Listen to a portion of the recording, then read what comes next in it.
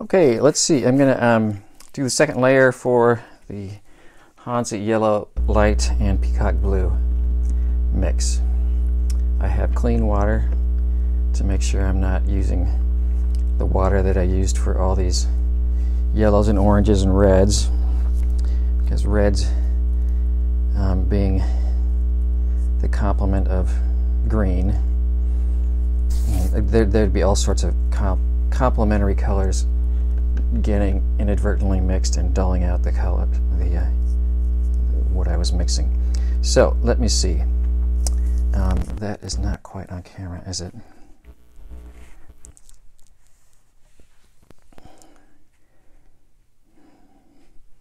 Ish.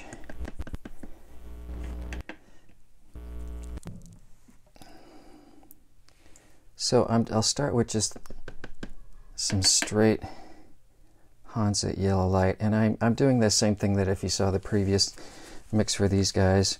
I'm just wetting down that that well is um, plenty of mixed color from the previous painting session. So I'm just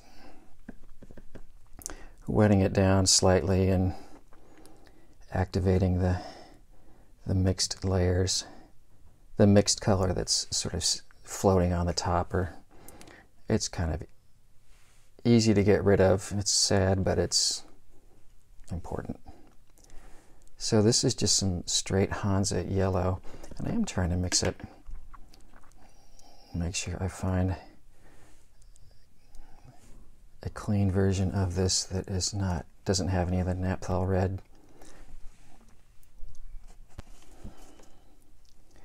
And here is my second layer of Hansa Yellow Light.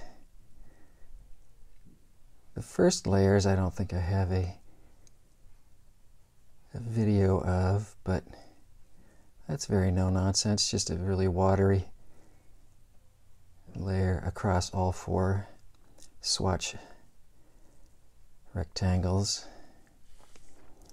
And I do it this way to build up intense color so that I have layers, many layers. It's like an ogre. Um, okay, that was random. But let's see here. I am going to now go to my peacock blue, which is you. Let me see, try to get mix up a little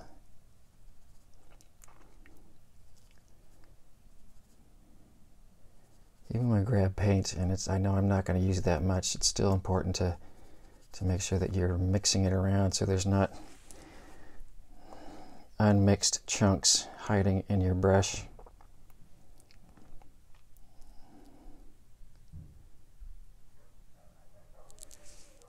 I want that a little bit more concentrated.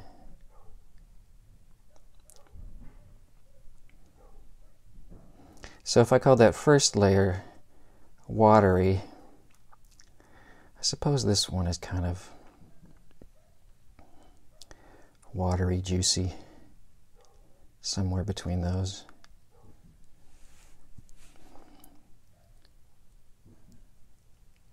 Soak that up. And tinting strength, um, similar to Naphthol Red, the Peacock is pretty powerful. Any phthalo paints are quite strong in their um, tinting strength. So um, it's not going to take a whole lot. Um, so let's see. What do I feel like you are? You're sort of. I'm talking to my colors. That seems. I'm going to call that kind of more um, right in the middle. That feels pretty straight green to me.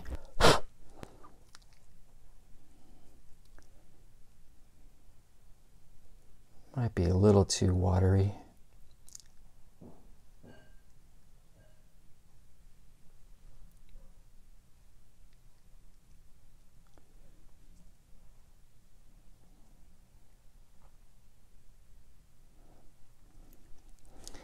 But this, it's a good example. If it is too watery, and I get to this point where I feel like I've laid down a nice even wash of of color that's evenly distributed in the shape that I want it to. I'd much rather just sort of let this dry and come back and try another layer than um, then go back and, and fuss with it. It dep- depends on what you're doing, but there'll definitely be plenty of times when I will err on the side of I'll come back and do that again because the most important thing is the distribution of of water when I'm trying to get this even even effect. Flat flat wash effect. So let's see there's a little bit of lemon yellow and a little bit of that peacock blue is still in there. So that's making a um, between yellow and green yellow green I'm gonna I'm gonna try this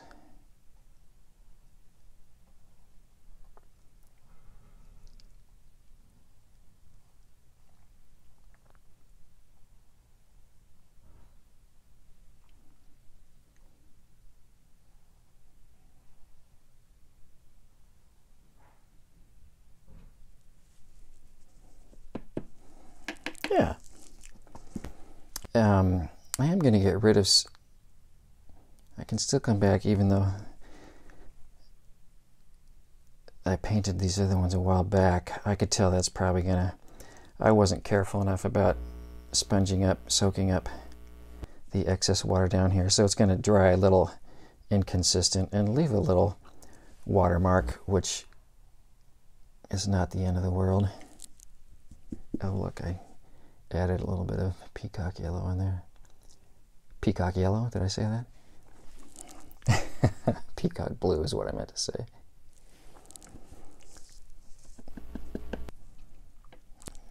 So let me see. Now I want to do mostly peacock blue to get this sort of blue green.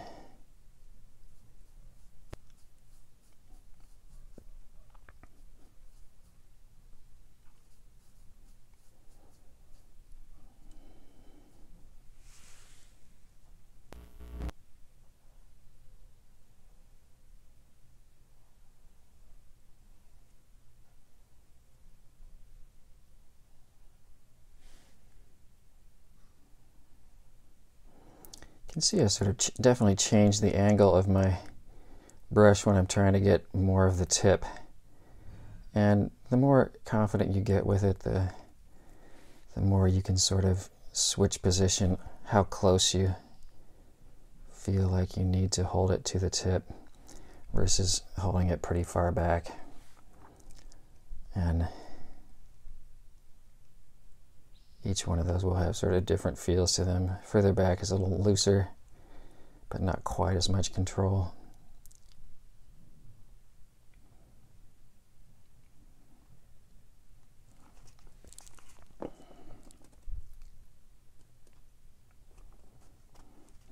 So I feel like all of those all of those second washes for that one were a little on the watery side, but um, oh well.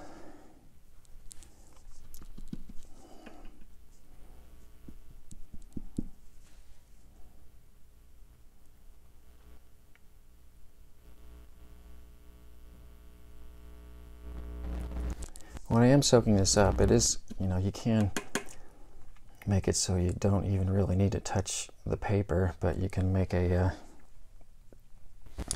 a brush thirsty enough to just sort of touch water and start soaking it up.